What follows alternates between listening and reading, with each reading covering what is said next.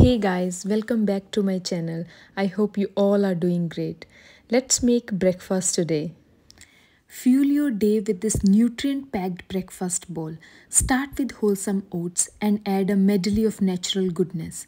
Dates for natural sweetness, almonds and walnuts for that satisfying crunch, and a dollop of peanut butter for creaminess.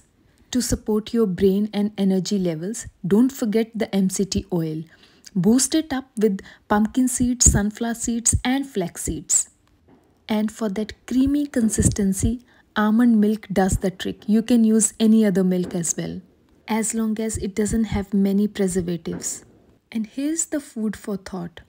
When you're buying dates, make sure they are not coated with rice or any other additives. Same goes for peanut butter. Always check ingredient list for peanut butter as well.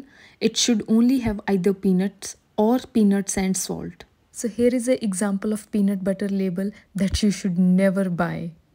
Rather than focusing on the nutrition information on the label, you should always always check ingredient list.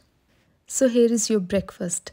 A delicious, creamy and nutrient dense way to kickstart your morning.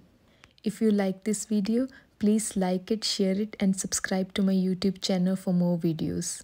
Most of the times I guide my clients how to check the ingredient list when buying products because we might end up buying something that we shouldn't be consuming. I might cover this more in details later.